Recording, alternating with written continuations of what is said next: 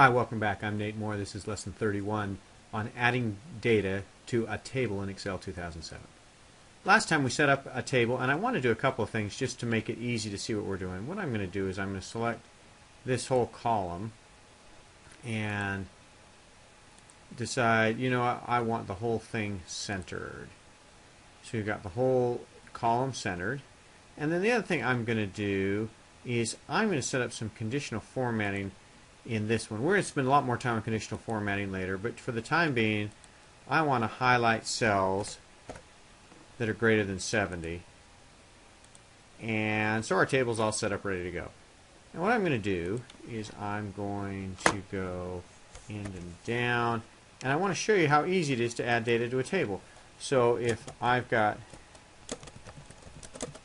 a patient, and I'm going to do that. Let's see, we'll do April Fool's Day. Make it 75. And we'll just make some of this easy. We'll build 99211. Code level would be 1. We'll do head and Medicare. Nada. And Dr. Lehman. Hopefully the formatting such that you can see that I just added a a brand new row's worth of data and the patient's over 75 so it formatted in red for me. It centered this just like we wanted it to. It's shading off and on. Just like that the, the formatting continues and my data is part of the table.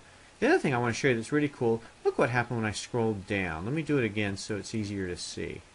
If I go all the way to the top look this is city, state, E&M code, and see the E, the F, and the G. Watch these letters and what happens when I scroll down. Did you see that? E, F, and G.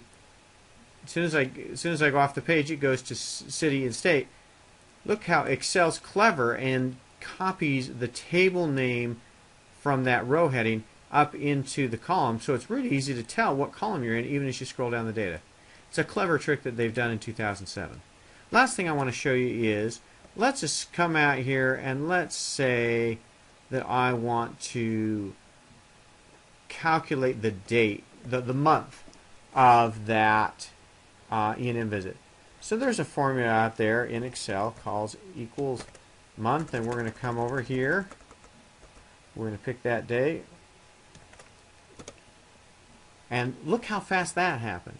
Excel says, hey, you know what, I'm in a table, and so I know that if you want that calculation in row 2, I'm going to put it in row 3, row 4, and down all the way to the very bottom. That fast, it just calculated it for me because it figures if I did it for one, I'll do it for all. When you try to add a row to Excel or a column, Excel will let you do it, and they'll let they'll do it for the entire row the entire column. They're trying to maintain the integrity of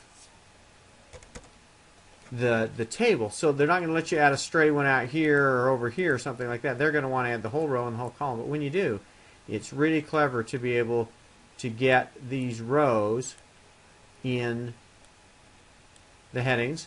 Now watch what happens if I come out here. See how they went away? If I scroll down now, I don't get it because I'm not in the table. If I'm in the table, up here the, my, my letters change to the column heading. If I want to get rid of it, back to there and it's O, back to there and it's it's back. Clever tricks in with the table, both to add data and in rows at the bottom and to add columns at the side. It's uh, one of the best new features in Excel 2007, and we'll keep talking about it next time. Thanks for watching.